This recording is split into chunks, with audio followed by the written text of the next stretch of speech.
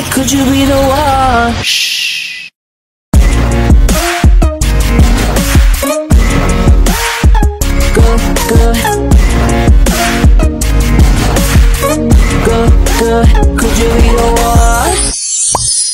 Hello everyone! Welcome back to my YouTube channel. At kung bago ka pa lang sa aking YouTube channel, mag-subscribe ka na and click mo na yung notification bell sa baba para ma-notify ka pag may new upload ako. For today's video, i-share ko sa inyo ang 3 toner na sobrang effective at nakita ko na yung result sa paggamit nito kaya masabi ko na sa inyo kung ano yung mga na-experience ko about sa paggamit ng mga toner na ito na sobrang ganda at sobrang the best para sa akin talaga. Wala na tayong maraming daldal pa, umpisa na natin ang video na ito.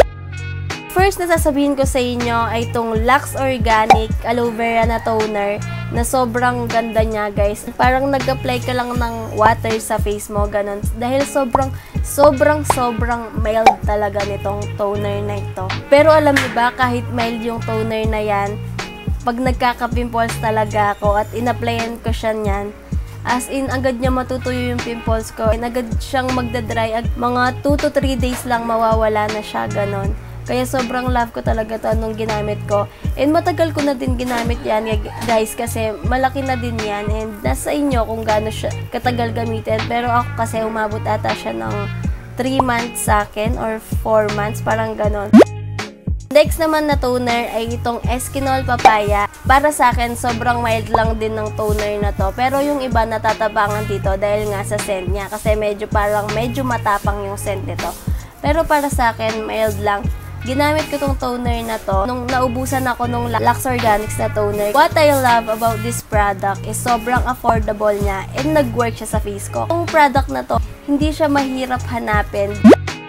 Last na i-share ko sa inyo na toner ay itong toner from Health Girl Skin Expert, yung sa rejuvenating set nila. Ito yung ito din yung pinaka gusto ko na toner na na-try ko kasi alam nyo yung pagka-apply nyo, uh, glass skin finish siya, gano'n. And pag nagkakapimpos din ako, agad siyang nawawala. Parang ka, kamukha niya yung Lux Organics na toner na tinatry ko. 2 to 3 days lang mawawala na yung pimples ko, mga gano'n. And hindi masyado maganda yung scent nito, guys. Malit lang to. Pero meron kayong mabibili nito na solo. Bibili nyo to sa mga resellers ng South Girls, sa mga distributors, gano'n.